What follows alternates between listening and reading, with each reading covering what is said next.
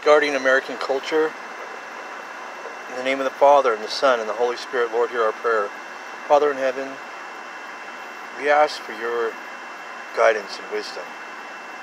For you to deliver the church and the culture, the principalities created by Hollywood, New York, Chicago, and all the all the principalities that have made modern culture so so tyrannical, so wicked.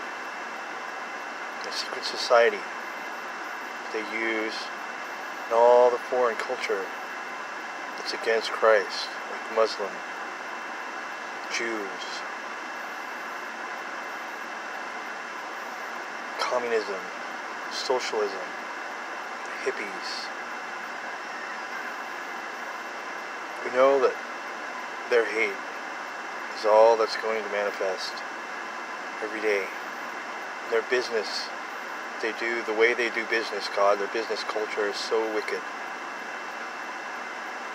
God, we just pray for, for peace, the church to be placed in positions over the, these wicked people. So it's only Christ's church who has the high offices and seats. So that we are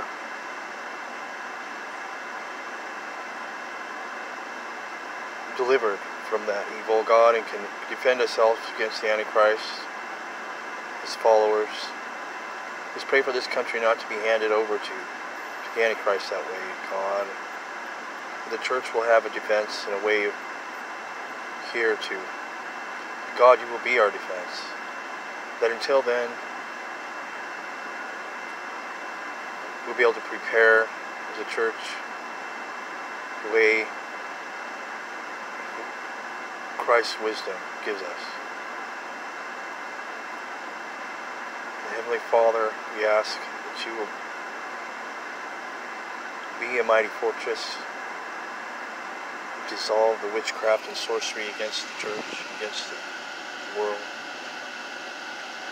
you will dissolve all their witchcraft, expose before us and before your throne and before the heavens all of the, those involved with sorcery. In the name of your Holy Son, we ask, Amen. God, we will make a culture here that is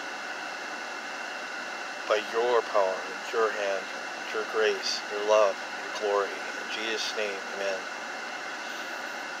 Even amongst the evil, until that day, that we will just have a country that is Christian enough.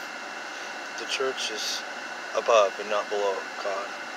And that we won't have to conform to this world or its order. Amen.